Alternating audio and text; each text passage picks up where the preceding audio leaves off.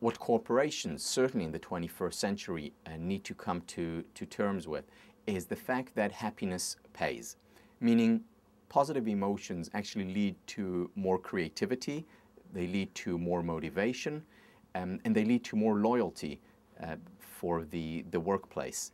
And in the 21st century, an organization that um, is not creative, that does not have innovation as one of its basic pillars, cannot thrive in the long haul. The first thing that an organization needs to do is to give space, place for people to fail. Now, it shouldn't give um, a blank check to failure, but it needs to identify the areas where failure is not uh, traumatic or terrible and give space in these areas because that's where people learn, that's where people explore. An organization where people are afraid of failing every step of the way will not be an innovative organization. Um, second, an, an organization needs to also consider uh, giving people recovery space.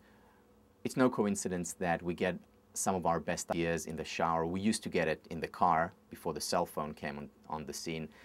And um, it's because people have the time uh, to take a step back and to, and to think about certain issues, uh, to, for ideas to, to marinate. And, and, and this is necessary. That's part of creativity. It's no coincidence that the word um, creation and recreation are etymologically linked uh, because we need to recreate if we want to create. Um, organizations need to encourage their employees uh, to take recovery times, whether it's the 15 minutes every uh, 90 minutes or so, whether it's the gym uh, in the middle of the day, um, whether it's the day or two off, um, not while being connected to the computer and cell phone, whether it's the, the, the vacation where one is really on vacation uh, on, on holiday.